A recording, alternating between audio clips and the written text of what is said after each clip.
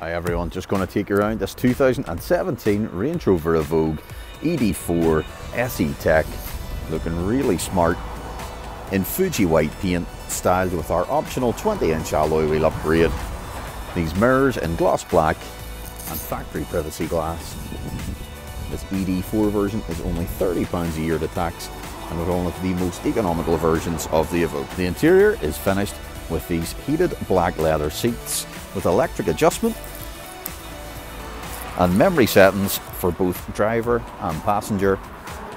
You've got the leather bound steering wheel and a touchscreen media system with sat nav, digital radio and optical display for your front and rear parking sensors. If you'd like to get any more info on this car, don't hesitate to get in touch.